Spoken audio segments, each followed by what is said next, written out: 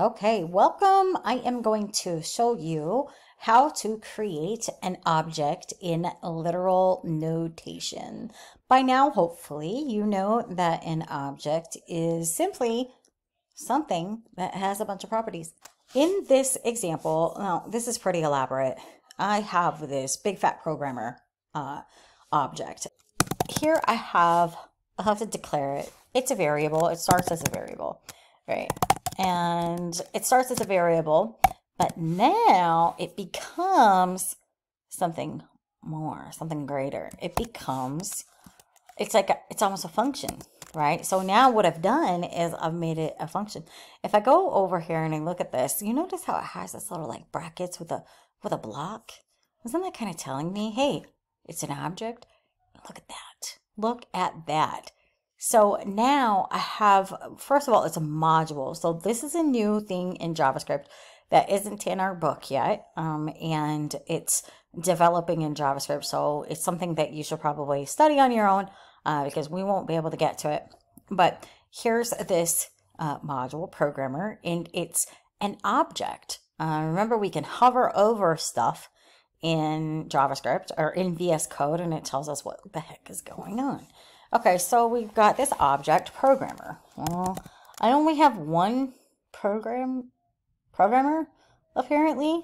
Um, so let's see. Name is John Doe. Okay. Now, obviously, I'm making a string. Look at this.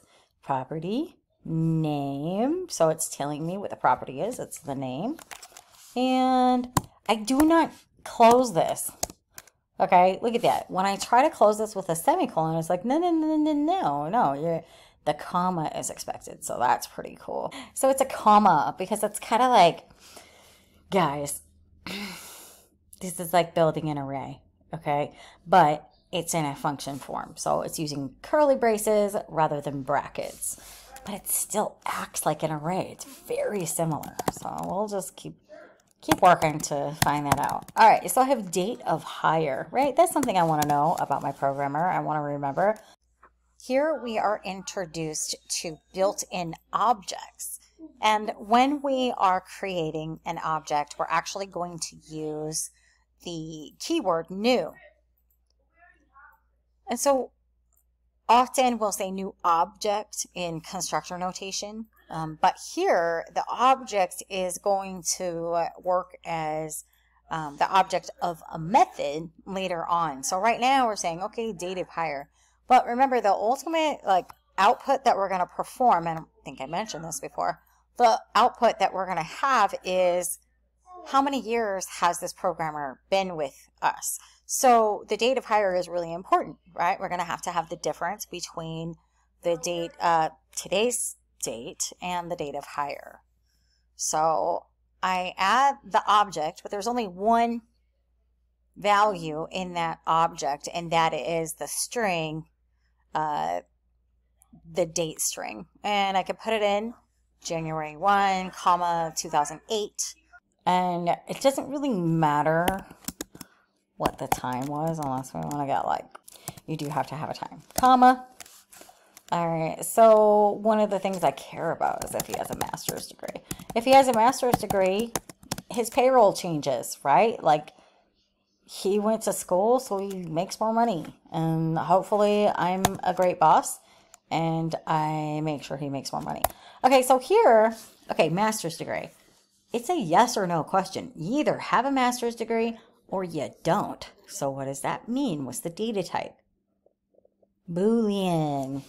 I really like that word, guys. So true. I'm going to say, yeah, it's true. Oops, I did it again. I love VS Code because it's like telling me, oh, you did it again. Um, I like CodePen because it's really easy to just like throw your code in there.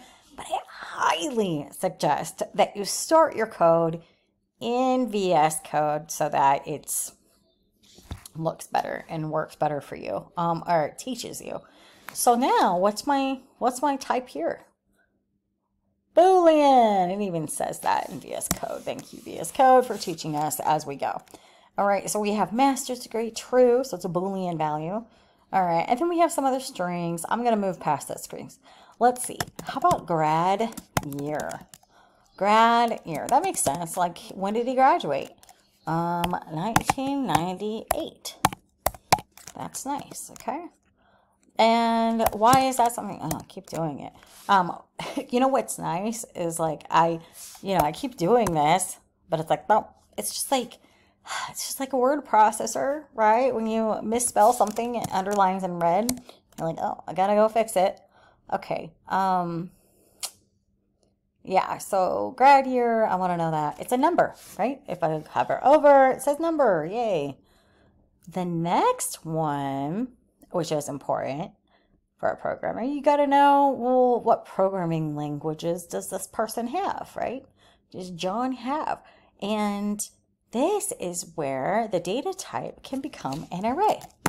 So program lang langu uh, yeah sometimes I have to use phonics for uh, for typing yeah, okay um, because you never want to the thing is you never want to um, misspell something because you'll do it again. Or like maybe one time you misspell it and then one time you you do spell it right and then it's like really confusing in your code and you're like, why is there this error? And then eventually you finally realize that it's a spelling error. Anyways, okay, that could happen at some point.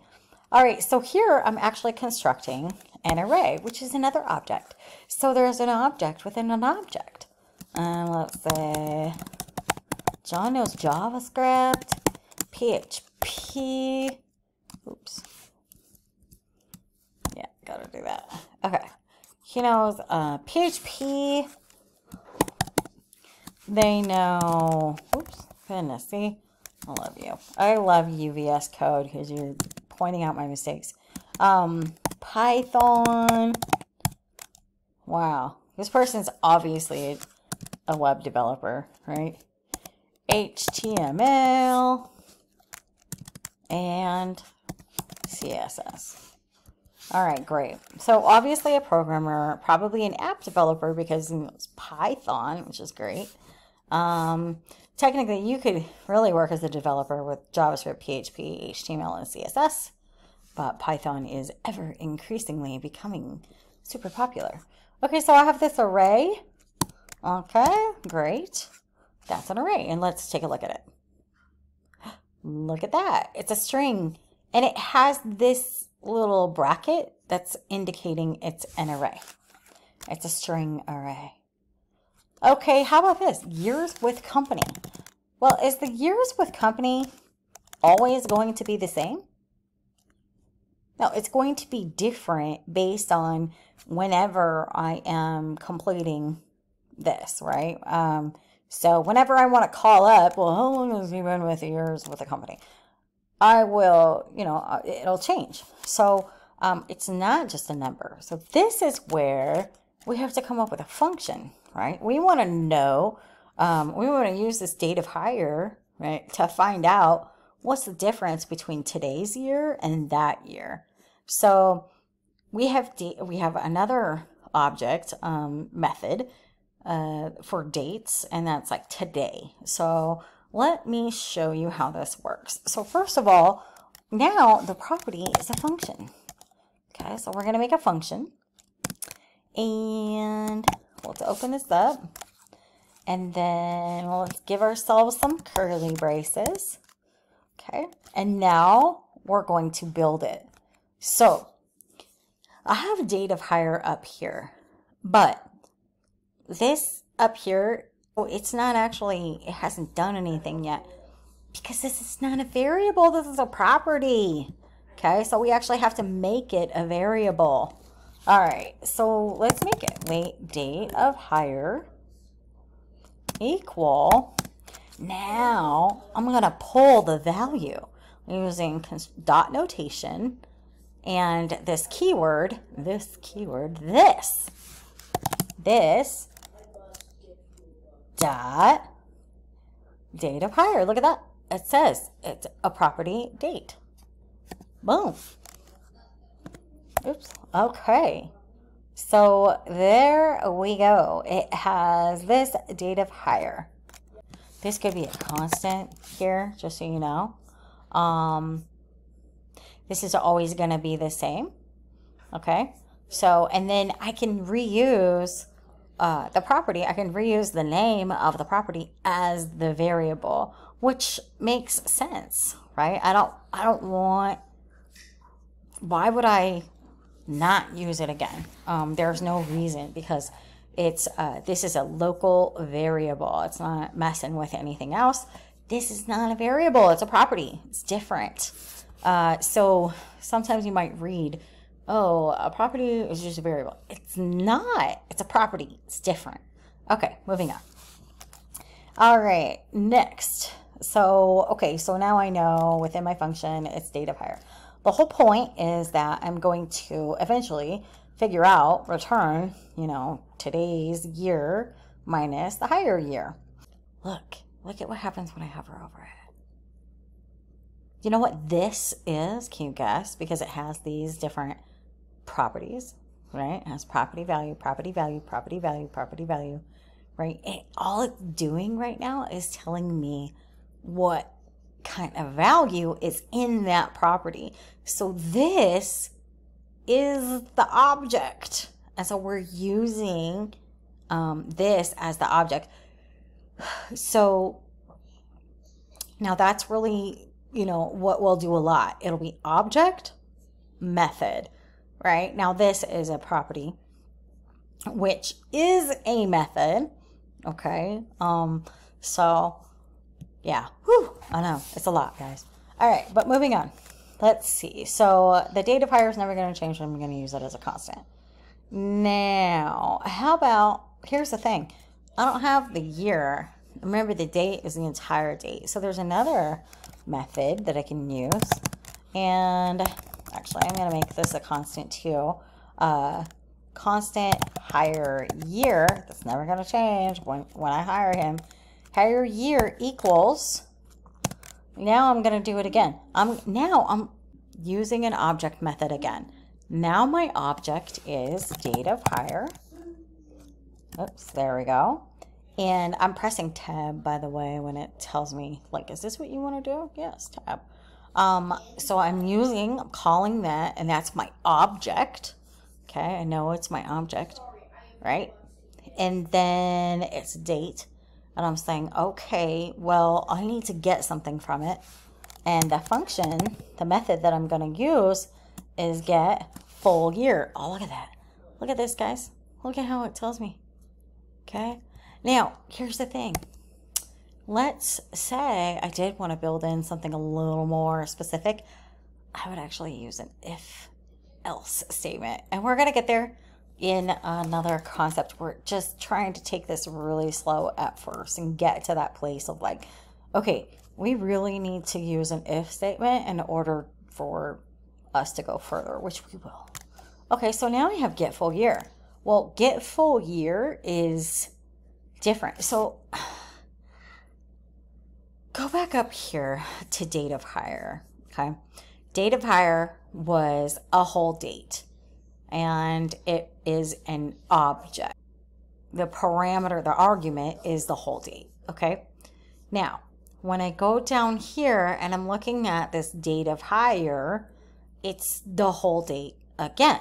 So now if I say get full year, the method is a built-in method, so it goes after the object, and it's an object dot method. And it gets parentheses because remember, a method is also a function. It just doesn't have any arguments in this case. What else do we need to know? Okay, so now I need to know, I want to say, all right, the from here, from today, subtract it from the date. That's how long they're going to be you know, that's how long they're with the company, right? Because that's what I'm doing here.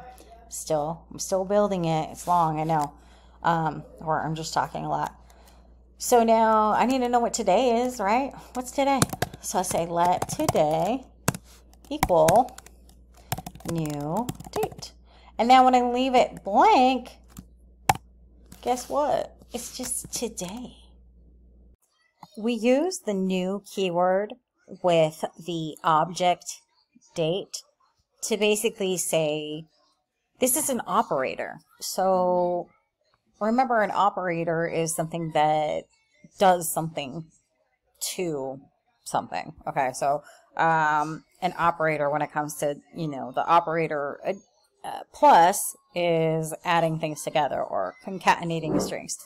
So new in this case, um, it's a keyword, but specifically it's an operator in which we use to create an object since the object hasn't been created outside. Um, but it's a built-in object. We still have to create it with new. Now, let's see, um, let's pause for a second. I have CodePen open in the other half of my screen, and it has the browser console that I can use. Let's go ahead and open that up and get this statement, this expression over here, today equals new date. Let's make sure that this actually works. I am writing a ton of code right now. I might feel a little paranoid that if this doesn't work at the end, I'm going to be pretty sad. So I'm going to test this object and I'm going to see if it actually returns today's date.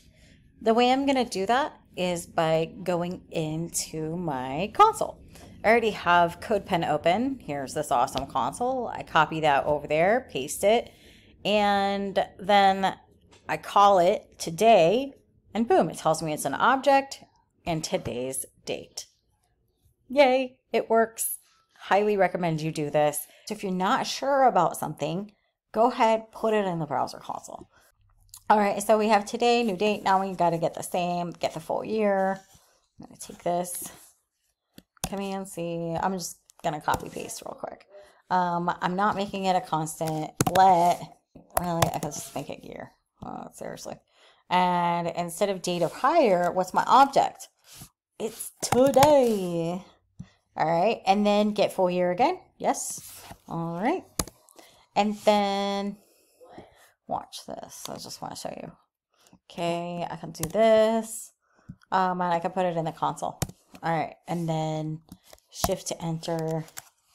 Uh, now what is year? Oh, wait. Oh, shoot. I don't have let in there.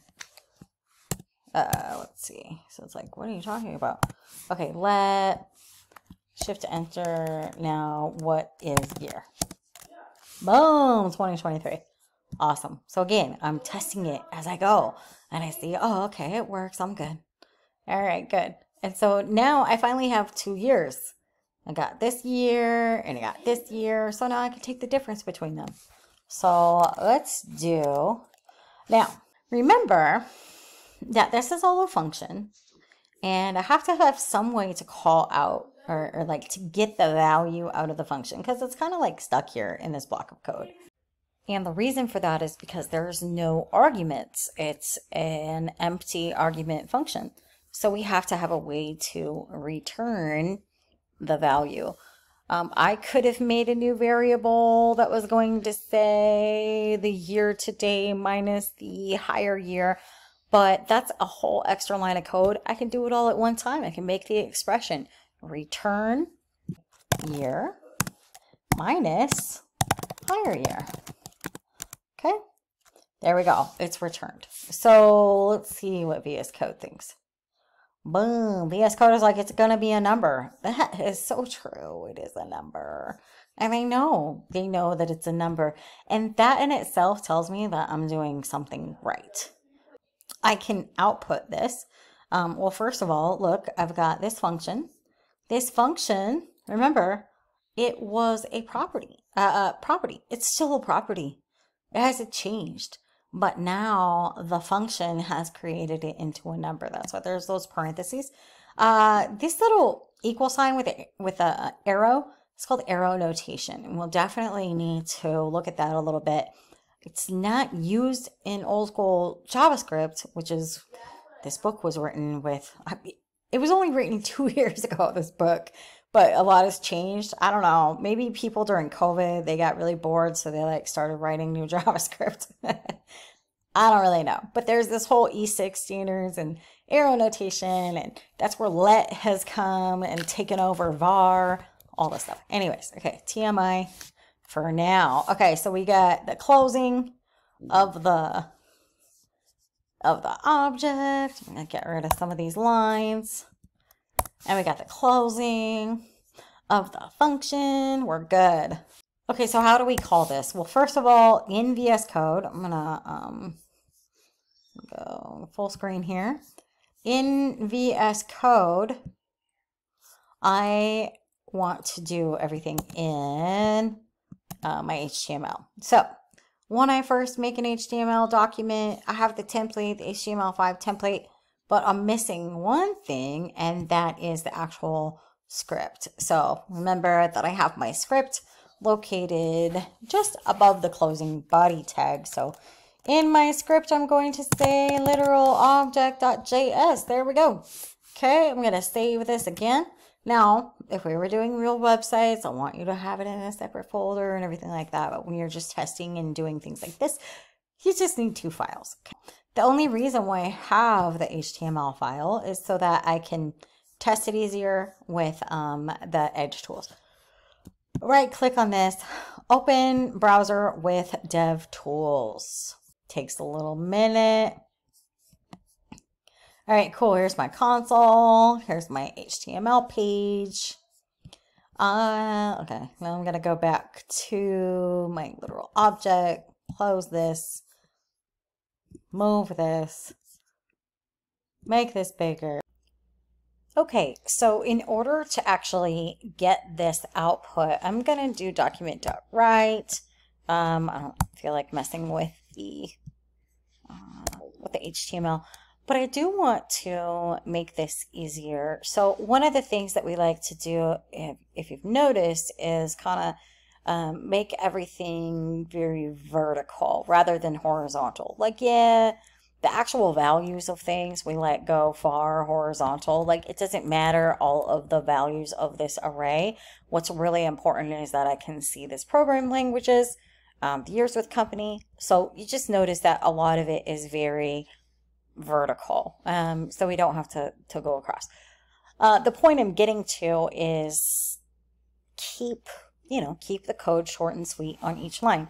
So I'm actually going to first call the programmer um, the property years with company property. So the way I can do that, I can um, constructor dot notation. Um, first though, I'm going to say let, uh, and I'm going to do years uh, with company. Okay. Um, or no, I'm so sorry. Okay. Uh, yeah, actually I can. Years with company. Okay. I can reuse this because remember this was a property. Um, so the years with company is not a variable. Therefore, I can use it again as a variable, which is fantastic. So let years with company equal, and now I'm going to call my object. So I call my object, which is programmer. So this is a method, right? Uh, so programmer, and then my function, right, is actually that years with company. So let's check that out. Programmer, years with company. And I gotta put this at the end. Okay, because it's a function, I have to make sure that I have these uh, input. All right, so now I have this. Let's go. Okay, so in the document document.write, instead of having um, all of this inside of that, now I just have, I can put years with company. And cross my fingers that this works because, you know, I'm going to go over here, refresh. Yay, 15. It is 15 because they started in 2008 and today is 2023 when I am recording this. My son is turning 15 this year as well, and he was born in 2008. So, yes, that is correct. Now that we have this huge object programmer, which makes a ton of sense. Obviously, someone that works at a company is going to have a whole bunch of characteristics, properties with values. Coming up, we are going to figure out how to turn this programmer thing rather than its own little variable. We're going to turn this into a function And then we're going to be able to build individual objects using the object function. So uh, let's check that out because obviously if I have one programmer, I probably will have more, if not now, but soon. And so I'm going to need a way to make sure I can add all my programmers with this exact same information. Kind of like building a database here, right?